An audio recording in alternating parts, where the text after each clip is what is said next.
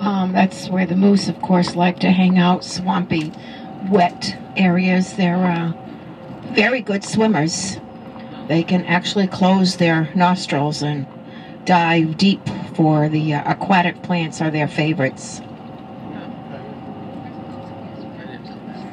Mm.